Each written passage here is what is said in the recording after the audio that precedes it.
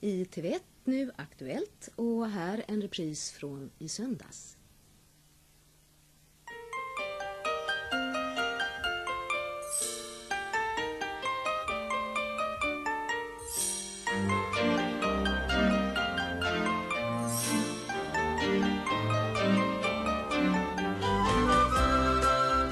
Här är Sköna Söndag korta versionen av söndagens direktsändning.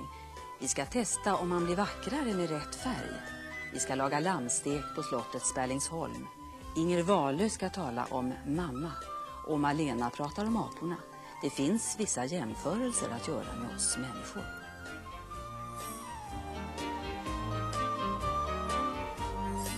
Marit Norgren, välkommen hit. Tack så mycket.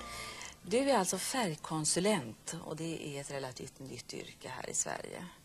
Och jag får väl presentera dig som en person som på fullaste allvar tror att du kan hitta betydligt klädsammare färger åt nästan vem som helst som du träffar. Är det så?